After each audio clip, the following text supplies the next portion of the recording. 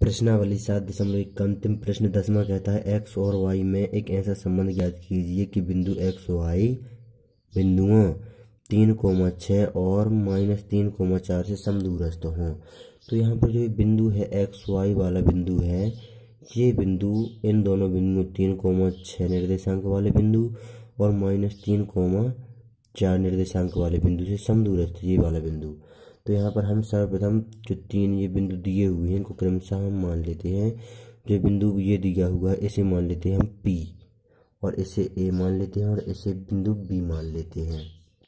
तो यहाँ पर हमने तीनों बिंदुओं को मान लिया, इसे मान लिया हमने पी और इसे मान लिया ए और इसे बिंदु को इस बिंदु को मान लिया हमने बी अब यहाँ पर कहा गया जो बिंदु ये वाला है, यानी कि जो बिंदु पी है, वो ए और बिंदु बी से समदूरस्थ है। समदूरस्थ का मतलब होता है समान दूरी पर। जो बिंदु पी है, उससे ए उतनी ही दूरी पर हो और बी भी उतनी ही दूरी पर है। तो हमें यहाँ पर जो सात दशमलव एक प्रश्नावली है, इसमें युग्मों के बीच की दूरी निकालना पड़ती है। तो यहाँ पर हम सर्वप्रथम पी ए युग्मों के बीच की दूरी निकाल लेंगे, जो पी बिंदु है और ए बिंदु है। इनके युग्मों के बीच की दूरी निकाल लेंगे और फिर हम पी बी युग्मों के बीच की दूरी निकाल लेंगे। और उन दोनों की तुलना कर देंगे। क्योंकि यहाँ पर समदूरस्थ कहा गया है तो यहाँ पर हम पी ए बराबर पी बी लिख सकते हैं, क्योंकि पी ए युग्मों के बीच की दूरी निकालना है, फिर हमें पी बी युग्मों के बीच की दूरी निकालना है और तुलना करना है। तुलना करने का मतलब होता है बीच में बराबर का चिन्ह लगाना है। तो यहाँ पर प्रश्न अनुसार पी ए बराबर पी बी यहाँ पर हो जाएगा, क्योंकि जो बिंदु पी है, वो समदूरस्थ है ए और बी से। अब हम यहाँ पर युग्मों के बीच की दूरी निकालने का फॉर्मूला लगा देते हैं। तो यहाँ पर उसका फॉर्मूला हम जानते हैं कि रूड अप तो यहाँ पर रूड हमने दोनों तरफ़ लगा दिया, क्योंकि पी ए युग्मों के बीच की दूरी निकालना है और पी बी युग्मों के बीच की दूरी। तो यहाँ पर युग्मों के बीच की दूरी का फॉर्मूला होता है root of x two minus x one का whole square plus y two minus y one का होल स्क्वायर तो ये दोनों तरफ़ फॉर्मूला लगेगा। या फिर हम सीधे सीधे ही निकाल सकते हैं। पी युग्मों के बीच की दूरी कहाँ है? तो हम पी और ए बिंदु को लेंगे तो इस इस पहले वाले में से इस पहले वाले को घटा देंगे और वर्क कर देंगे। तो यहाँ पर करते ही जाते हैं। पी ए युग्मों के बीच की दूरी निकाल लेते हैं। तो इस तीन में से घटाते हैं एक्स को। और वर्क कर दिया। बीच में प्लस का चिन्ह लगाया। और अब इस दूसरे वाले में से घटाते हैं इस दूसरे को।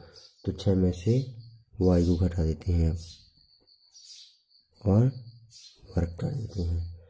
अब इसी प्रकार हम पी बी युग्मों के बीच की दूरी निकालेंगे। तो अब यहाँ पर पी और बी को लेंगे। तो यहाँ पर इस दूसरे, पहले वाले में से इस पहले वाले को घटा देंगे। तो माइनस तीन में से घटाएँगे एक्स को। और वर्क कर देंगे बीच में प्लस का चिन्ह लगाएँगे।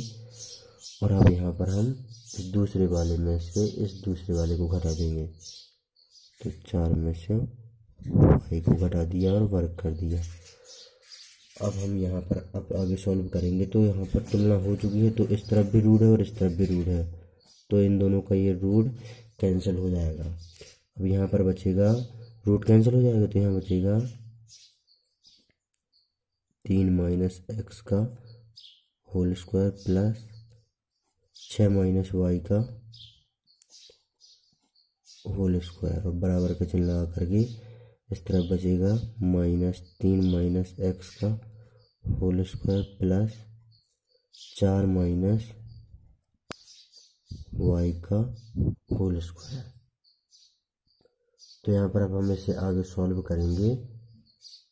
तो अब इनका हम वर्क कर देंगे। तीन माइनस एक्स का होल स्क्वायर है तो इसे आगे सॉल्व करेंगे सर्व समी का रूप में। ए माइनस बी का होल स्क्वायर तो यहाँ पर हो जाएगा, यहाँ पर तीन माइनस एक्स का इस प्रकार सर्व समी का रूप हो जाएगा कि a square plus b square minus two a b तो यहाँ पर ए स्क्वायर यानी कि तीन का वर्ग, तीन का वर्ग हो जाएगा नौ। प्लस बी स्क्वायर यानी कि माइनस एक्स का स्क्वायर। तो यहाँ पर हो जाएगा ये प्लस एक्स स्क्वायर। या फिर सीधे सीधे हम तीन माइनस एक्स का दो बार गुणा कर देंगे तो यहाँ आ जाएगा नौ प्लस एक्स स्क्वायर माइनस छ x. Minus two a b होना था तो टू और ए की जगह तीन और बी की जगह एक्स हो जाएगा तो यहाँ पर माइनस छः एक्स आ जाएगा प्लस का चिन्ह लगाया बीच में ये वाला। हम यहाँ पर छः माइनस वाई का इसी प्रकार कर देते हैं तो छः का हो जाएगा छत्तीस प्लस वाई स्क्वायर माइनस बारह वाई बराबर का चिन्ह लगाया ये वाला। अब यहाँ पर इस तरफ़ हम सॉल्व करेंगे तो यहाँ पर माइनस तीन का हो जाएगा प्लस के नौ। प्लस के एक्स स्क्वायर हो जाएगा ये माइनस के एक्स का। और प्लस के छः एक्स हो जाएँगे यहाँ पर। अब यहाँ पर हम ये प्लस के चिन्ह लगाएँगे बीच में। आप इनका दो दो बार गुणा करते जाना तो इस प्रकार आता जाएगा। अब यहाँ पर चार माइनस वाई का दो बार गुणा करेंगे। चार माइनस वाई का चार माइनस वाई में करेंगे तो यहाँ जाएगा। प्लस के सोलह, प्लस के वाई स्क्वायर और माइनस के आठ वाई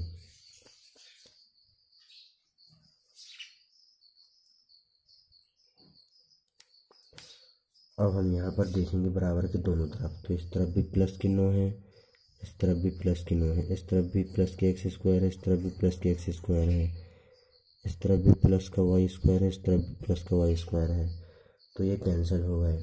अब यहाँ पर बराबर के इस तरफ़ कौन कौन बचा है? माइनस का छः एक्स माइनस के बारह वाई, ये बचा है, ये बचा है और ये प्लस का छत्तीस बचा हुआ है। अब जो ये बराबर के इस तरफ़ ये तीन बचे हुए हैं, प्लस के छः एक्स प्लस के सोलह और माइनस के आठ वाई इन तीनों को बराबर के इस तरफ़ ले आते हैं तो इन तीनों के चिन्ह बदल जाएँगे, जो छः एक्स प्लस का ये माइनस का छः एक्स हो जाएगा। माइनस के सोलह हो जाएँगे जो ये प्लस के सोलह हैं, और ये माइनस का आठ वाई प्लस के आठ वाई हो जाएगा। और बराबर में इस तरफ़ कुछ नहीं बचेगा, यानी कि ज़ीरो बचेगा। क्योंकि यह इस प्रश्न में एक्स और वाई में संबंध कहा है तो सीधा सीधा हमें समीकरण बस को बना देना है। तो यहाँ पर हम समीकरण को बना देंगे किस प्रकार?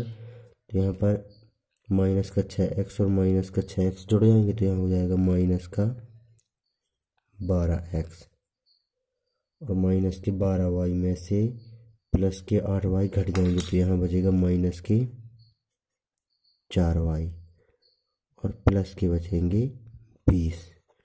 क्योंकि प्लस के छत्तीस में से सोलह घट जाएँगे तो बीस बचेंगे और बराबर में बचेगा ज़ीरो।